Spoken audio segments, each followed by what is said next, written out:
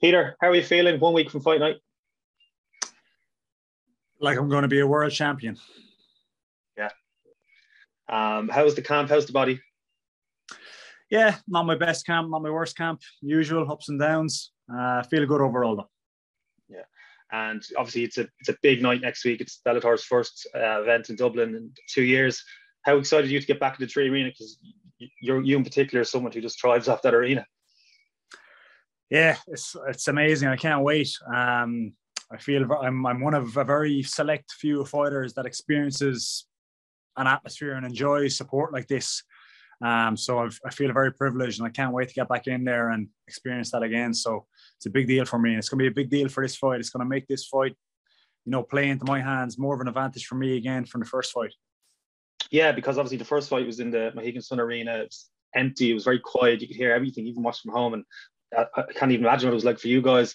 But I know uh, Patricky spoke a bit on social media. He's looking forward to come to Dublin. But do you think that might change when he gets there in the night and he's like he walks in, he's like, "Whoa." yeah, I think he thinks he's looking forward to it, and then he'll see when he gets in there and he.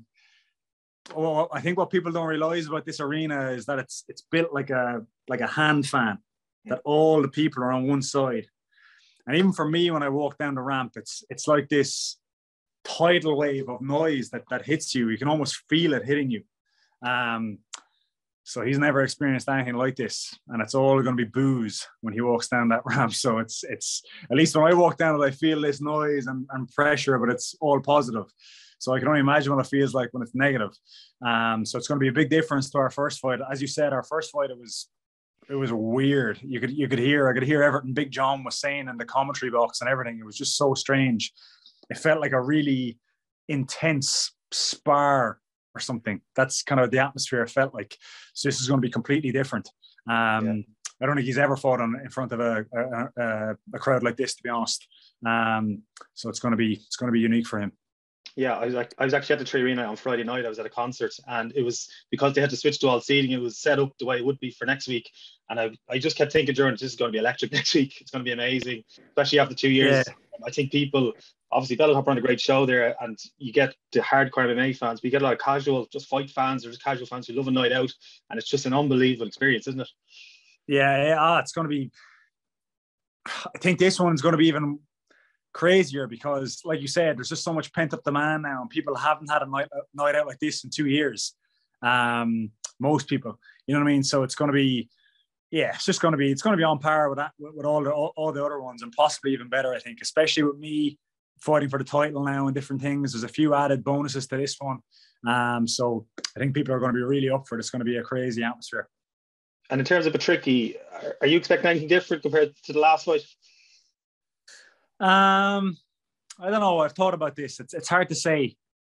You know, he, he it's very hard to say. I just don't know how he's going to approach this. I, I think the fact that it's five rounds, I don't think anyone would disagree that this favors me now. Um, it's a longer fight. So, you know, you could see him try and start a little slower. He might be worried about his gas tank against me. I think this could happen. Um, so he might he might approach at a slower pace than he did in the first one. Um, it's hard to know. He he kind of had success with takedowns in a way but he didn't really have success because he got damaged in all, all of his attempts as well. So it's hard to know if he'll follow that path either. Um, you know, it's, it's just really difficult to know. I don't know what to expect from him. I I think he's just going to come in and try and take me out like he always does with everyone. Um, yeah. And I'm, I'm ready for that. And I'll be doing the same thing to him. So I think it's going to be much of the same as we got the first time, which was a great fight because I think one of the most exciting things about you two is obviously it's a great matchup, but as you said, he's a fast starter, but you seem to grow into fights. You can see in your fights, your cardio is off the charts because it wasn't just tricky. It was against Ryan Scope, second round. Yeah. You just you grow into it, and you're just unbelievable. Like you, you, even when your back's against the wall, you just seem to thrive off it, and you take you just go into a, a next gear. Do you think that's why you two clash really well? Because there's a certain point in the fight where two of you are almost on par, and then it might swing in your direction.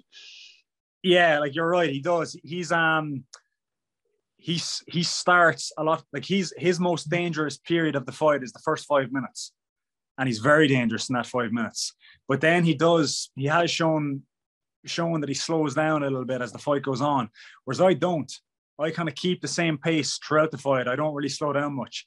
Um, that's what you saw in our first fight. He started very fast. He probably slightly had the better of the first round, I would say. I know one judge gave it to me, but I wouldn't be mad if they gave it to him either. Um, but then you saw in the second round, it started to even out a bit, and then I started taking over late in the second round. So, you know, the fact that it's five rounds definitely suits me. I can start even slower now this time. I, I'm in no rush.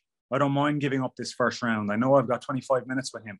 Um, so I'll be in no rush in there. I'm just going to take this nice and slow and drown him as the fight goes on. That's kind of my my plan here. And I'm not breaking any news there. He's going to know that as well. And I'm sure he's worried about that. He's he's got to be worried about his gas tank. Um, that's that's the one chink in his armor. He's a brilliant fighter, but he has shown that he that he slows down as the fight goes on. Has it affected you at all the build up because it's for a world title? Because there's already been talk. I, I seen after Bellator 268, like with Brent Primus calling the fight a joke and kind of criticizing you for being the title fight. But that's going to obviously going to happen when people are in fights because people have want themselves to be in the title contention. But does that affect you because there's a title, there's just more attention around around the world. It's not just your Irish fans or his fans. It's everyone who's looking at this fight. Yeah, of course. It's there's like there's more. There's always pressure. There's more pressure with this one, but there's I put so much pressure on myself for every fight. If I was fighting a, my first fight, fighting in a in a warehouse in Tallaght, I I I, I was still under immense pressure because that's just the pressure I put myself on. Um, so the amount of pr- pressure I put myself under, no matter what happens, I can't take on any more pressure if, if you if that if, you, if that makes sense to you. Um, so to be honest, it's kind of much of a muchness for me. I don't really listen to all that stuff. He's, he's just saying things, trying to get his name in the picture. I understand that. Um, he's probably one of the guys in line for the winner of this fight. Um, so he's just trying to keep himself relevant there and keep keep his name out there. So, you know, I'm around long enough. I know how this game works. I don't get too offended by what people say anymore. It's it's just how it is. Yeah, and in terms of next week, it's obviously a busy week. It's always a busy week for you guys, especially when it's in Dublin. There's a lot of media to do, um, just the weigh and the ceremonial in and the, pub, the kind of public way. And Um, will it be any different for you next week? Because obviously, um, your your posters all over Dublin. I was at the 3Arena last week. Your face is all over there already. Um, to be like a lot of young MMA fans, young fighters watching you potentially become a world champion does that add pressure? Do you kind of like that people will be looking up to you as a role model potentially if you become? They already do, obviously, but if you become world champion, you're that guy in Ireland. Yeah, it's yeah, it is. It's it's it's crazy to think like it's um if I if I can get the job done here, I'll be I'll be sharing this world champion status with a very special guy. Just it'll be just be me and Conor that have been you know major MMA world champions in Ireland, um, which is a great you know, a great feather in my cap and it'll be a huge achievement for me. And of course, that comes with pressure. But as I said, you know, it's just, I always have so much pressure. I'm just that guy. I, I, I demand perfection in everything I do. Um, so it, it, it's, it is pressure, but it's not pressure if, if you get me. I'm just, yeah, I'm just really looking forward to getting this done now. It, it, it feels yeah. like, you know, the pressure always adds up as, as it gets closer to fight, but then you just want to get in there and do it and fight him. And I'm looking forward to fighting him. Yeah. Um, you know, he's, I know we've had our differences, but one thing I do respect about him is he's a fighter. He comes in to take you out. He tries to kill you. And it's, it's, and this is why I'm so excited about this. This is going to be wild. It's going to be a crazy, crazy fight. It's going to be crazy in there. Um, yeah. you know, so I'm just really excited for, for that. I'm excited to, I'm excited for the crowd and I'm excited for what they're going to see and just the spectacle this is going to be. Yeah. Um, just briefly to chat on, there's obviously a couple of your teammates fighting on the night. James against Patchy was originally the main event, but obviously you've jumped up. That's amazing fight, isn't it? We, we've waited for so long to see it. The two of them are back and forth even now on social media, very close to fight night. How excited are you for James? Oh, so excited. Even even when uh, James was with me for my, my first fight with Patricky and Patchy was on the card and we were in, he was in the in the Mohegan Sun with me and they were even Jesus Christ, they were the bickering between the two of them in the hotel even all week. They were going at it again. I was like, just fight you two. I just want to see this now. Uh, it was so funny. Um, so you know that was just what I'm excited for as a fan, and he's my friend, of course. So it's double excitement. Um, but it's a great fight. Patchy's. A, I know we can say James will say a lot of stuff about him, but he is a great fighter, Patchy.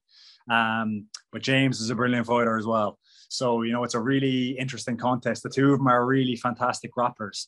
Um, so I think it's going to be very exciting, and I think you know we're going to see a good one there too. I think James is probably a bit better than him in the in the grappling. I think I think this will be a grappling kind of a fight. I don't think you know, sometimes emotions can get get the better of you. Maybe Patchy's planning to stand and things, but then you end up shooting. It's you see this a lot in mm. fights. And if you shoot on James, he's got that guillotine and he's got that ground game. It's it's not a it's never normally a wise plan to shoot on him. So I can I can see James getting him. Yeah. And then amazingly, a week after your world title fight, we've got Sinead taking on Cyborg. We could have two Irish world title or world champions in the space of a week, which is phenomenal. Just a word on Sinead. Have you spoke to her uh, recently in the build up to this? Yeah, I spoke to her. I speak to her every every few days. Um, whenever I see her in the gym, but she's just so excited and she's really focusing on this one now. She's she's kind of lighter than I've ever seen her. She's very fit. Um, she's just put a lot of work into this. Um, and this one again is like it's a really hard fight for her. Let's let's be honest. You know what I mean? It's it's cyborg, but if anyone can beat her, it's Sinead. Like I really truly believe that. And I think she will beat her as well. It's like um, she's the only girl in that division that will be able to probably get the better of Cyborg standing. Um, I think if this ends up being a stand-up fight, Sinead's going to win. I just don't see don't see Cyborg beat her in that kind of a fight. Now you you'll probably see Cyborg switch gears and try and take her down and things, but Sinead will be ready for that as well. So that's a brilliant fight as well. I'm really excited for her. She's had a long road as well, and, and she's worked very hard. And it's nice to see her getting the recognition now and actually getting to step up and have a big fight like this against an icon like Cyborg. And it'll be the making of her if she wins it. Can you imagine if she wins it? Yeah. You know what I mean? It'll be she'll be a household name in, yeah. in just the blink of an eye. So it's it's yeah. great for her. And then finally, last question. I don't even know if it's a question, but 2021 Christmas, Peter Queally World Champion. How does that sound? Oh, just so nice. I just keep. I'm trying not to let myself get too. You know, you try whenever I I fight. I got good advice off someone before that you, when you're picturing the fight, you know, you want to picture yourself knocking the guy out and things going well, and but you need to picture a bit of adversity as well and things going wrong too, because sometimes you can be too confident. And then when the fight's not maybe going perfectly, you start to get drowned by this then. And you start to, and I'm kind of having the same thing with this belt. I'm trying not to picture myself with this belt too much um, because it's such a big deal for me. And, you know, but I, I really think I can beat him. I really do. I think I will beat him. Um, oh, it'll be just amazing. It'll be just an amazing, amazing road for me, an amazing, you know, culmination to all the hard work I've done, and I think I deserve it. Super. Well, we hope you do, Peter. I'm sure I'll see you next week at some stage. But best of luck next weekend.